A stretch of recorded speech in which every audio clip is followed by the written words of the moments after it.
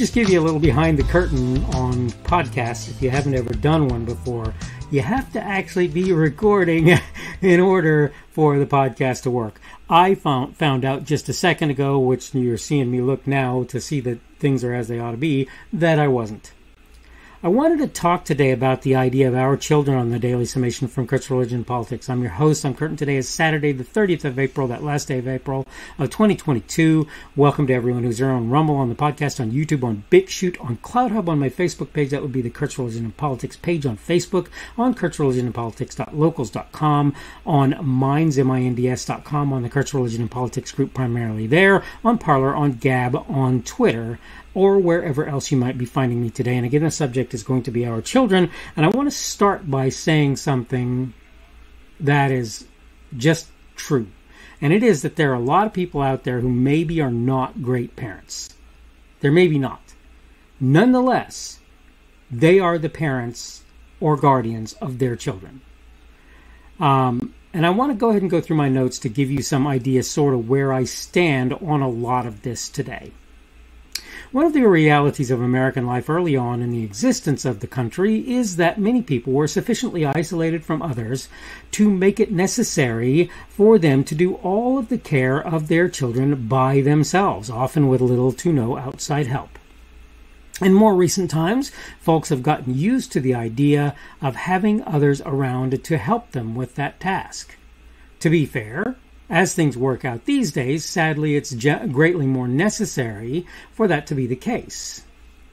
It's a certain thing that children in the care of others are subject to the rules, regulations, and requirements of uh, those others place upon them so long as they're not acting outside of what is reasonable. What's not so sure, though, is that those individuals are somehow superior in their ethics, morals, intelligence, or much of anything else uh, to the parents of those children. Being uh, totally reasonable. There are a lot of guardians of children who, sadly, you could argue aren't really up to that task. For me, though I wasn't anything like the parent I should have been for my older children, it was very obvious to me it was time to step up and do what needed done. Maybe more importantly, even as a younger person, I had a set of values I desired to instill in my children. And I grant you, not everybody's values are great. But the point is, when people have children, that's one of the things I think that they can reasonably expect to do with those children. I'm not trying to say teachers, daycare workers, and others should have no part in that process. In the end, though, you're my child's teacher, for example, from between one and five years of age, uh, or five years of time as a rule, not age, but time. After that, you send them on their way while I must still continue to work with them and live with them. The same sort of thing is true for daycares, except more so. For the first five years of life, maybe six in some cases, the child might spend the majority of his or her day in such a facility.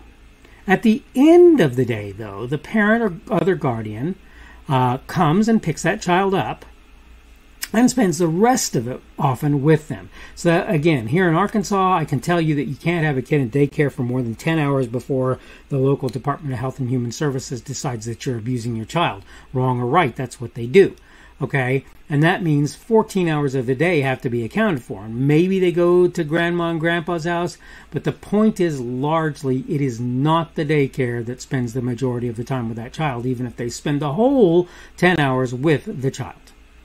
Uh, then at five or so, the child starts school and typically spends even less time with anyone other than parents. And again, if a the guardian of a child moves or the kid ages out of some particular program, school, or whatever, they continue with the person acting as in the stead of parent or just plain parent, right? Being just plain a parent, while old teachers, daycare workers, and others fall by the proverbial wayside if for no other reason. It should be assumed the person tasked with instilling values into those children, the persons, are parents or guardians, not teachers and so forth. The truth is, many of those people who look after my child in the course of a workday either have no children or have no more experience than I do as a parent. maybe even more significant is the fact that I consider my moral framework for existence to be superior to any other that I know. If it wasn't, I'd adopt the one that was. It's pretty simple, really. Lots of the time, people who work with children aren't nearly so stringent in their standards or principles. Again, can they express their opinion on how life should be lived and others treated and so forth? Well, yes, but that's not not why my children, excuse me, go to the various places they work, where the, those folks, the folks in question work. For daycares, it's to provide my child a safe place to be while I earn the money that pays their house for their house, food, clothes, and other necess- necessities, and, if possible, luxuries. For teachers, it's to get them into a standardized curriculum for things like math, reading, writing, and others that will be important life skills. And I want to put an emphasis on it that will be important life skills. That's really significant. Do the children socialize in such places? Sure.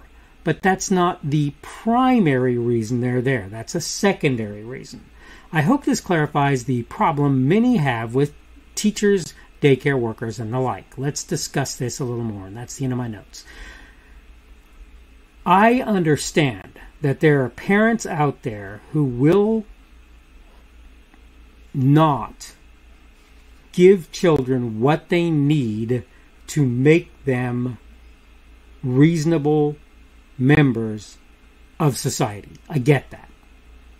But I also recognize that a woman gave birth to that child to whom you are speaking when you work in a school or a daycare, and that that woman and the woman, the man with whom she finds herself, hopefully, have a responsibility for the upbringing of that child. If your school got nuked t- tomorrow and they survived, they would still be responsible to bring that child up. If their house got nuked, the school would have no such responsibility.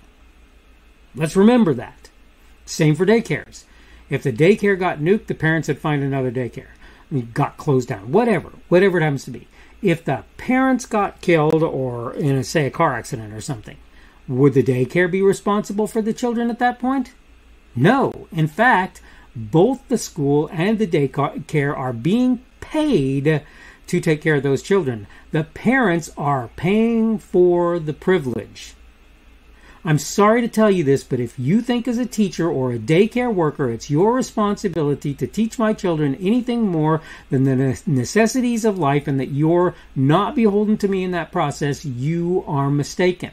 I can take my kid and I can put him into another school, I can put him into another daycare, and you are gone from their life. Okay? When they leave school every day, they come home to me. If they don't come back to school tomorrow, whether I'm teaching them at home, I send them to another school, or we find some other way to deal with their schooling or their daycare, you'll not have any more say in that process at all. If you think you're a person with authority, therefore, and therefore you have a responsibility, let me help you to understand largely that is not the case. And I just want for you to know that.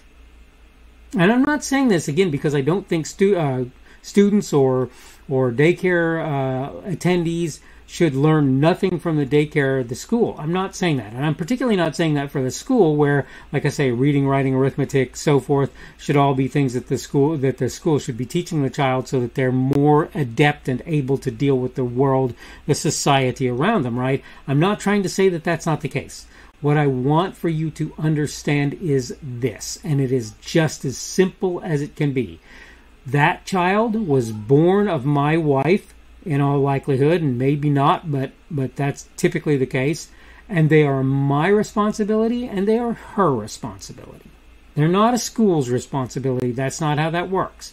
Yet again, if the school disappeared, I disappeared, I'd have to find a new school. Literally, have had that happen.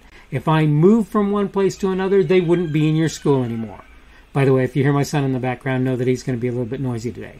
But through all of this and all of this, what I want you to understand is if I die, they're not going to say to the school, oh, they're the, these children are the wards of the school now. No, somebody else is going to be responsible for them, and it won't be teachers and it won't be daycare workers. Okay? This is why, this is one of many reasons that I ought to be the one who's responsible for instilling the appropriate uh, attitudes, perspectives, ideals, ideas, and so forth into the heads of my children. Again, can teachers have a part in that? Yes. Can daycare workers have a part in that? Absolutely. In the end, who should be saying what what should be said or what's going on? That would be me. So, this is kind of what I wanted to get across today. I hope you understand really exactly what it is that I'm saying. This has been the Daily Summation from Kurt's Religion and Politics. I'm your host. I'm Kurt, and today is Saturday, the 30th of April of 2022. Uh, that means the end of the Sabbath at sundown today, at the sunset, whatever you want to say. Tomorrow will be Sunday, the 1st of May of 2022, the beginning of that Christian week, according to most Christian folk. Uh, so, uh, again, Sunday, the 1st of May. Uh, thank you for everyone who's been here on Rumble, on the podcast, on YouTube, on BitChute, on CloutHub, on my Facebook page, on locals.com, that's Kurt's Religion and Politics.locals.com, on minds.com, and mynds.com, and that would typically be the Kurt's Religion and Politics group there, on Parler, on Gab, on Twitter, or wherever else you happen to be hearing or seeing me today. Subject for today has been our children, and tomorrow we're going to talk about the subject of hard work. Hard work. That's what we're going to discuss tomorrow. And I have a very specific reason that I want to sort of press this issue because I think it's something that these days is maybe not explained to a lot of people the way it ought to be, and maybe they're not bringing their kids into the world and, and training them up in the way that they maybe ought to think about doing at the, at the very least. I uh, hope you're having a good day today. Hope everything is going well for you, and hopefully, we will see you again on Sunday's edition of the Daily Summation from Kurt's Religion and Politics. The speaker on this edition of the Daily Summation is Kurt Shubert. This podcast was created on Saturday, the 30th of April of 2022. The Daily Summation is created for Kurt's Religion and Politics. Thanks for watching today's edition of the Daily Summation from Kurt's Religion and Politics. Don't forget to come back tomorrow uh, to check out the next one. Remember, on various platforms, primarily Rumble, YouTube, BitChute, and CloutHub, and the audio podcast, you can subscribe to my content. For the audio podcast, you probably want to use Apple, Google, or Spotify, Apple Podcasts, Google Podcasts, or Spotify. In order to find me on those platforms, you can go to the Kurt's Religion and Politics channels on Rumble, YouTube, BitChute, and CloutHub. You can also get to my content on Facebook by finding the Kurt's Religion and Politics page there, minds, M-I-N-D-S.com, uh, you, where you will find me at the Kurt's Religion and Politics group, and Kurt's Religion and Politics.locals.com as well. You can look there. I post my daily video on various social media sites, really only about three Parler, Gab, and Twitter at present. I am at KP Shubert on each of them, and you can find me under them, and you can find the videos under me. Uh, you should be able to find my podcasts on Google and Apple Podcasts and Spotify. It's also on podcasts.kpshubert.com. That's podcasts with an S dot kpshubert.com. Uh, if, if you're looking for me on various of the podcast sites, you probably want to search Kurt's Religion and Politics, not the Daily Summation. Keep in mind you can subscribe to my content various on various places that I put it. Uh, all constructive feedback is welcome. You can like, dislike, add a rumble, or give whatever feedback is available on any of the platforms that you can do such things. You can add, also add a comment on what I put there. Unless you're advertising or doing something that I believe will harm others, I'll leave your comments out there even if I don't agree with or understand them. I will try to let you know I've seen them when possible and may reply if I feel it's reasonable, appropriate, and possible, of course. Thanks again for viewing this edition of the Daily Summation from Kurt's Religion Politics. Don't forget to come back again for tomorrow's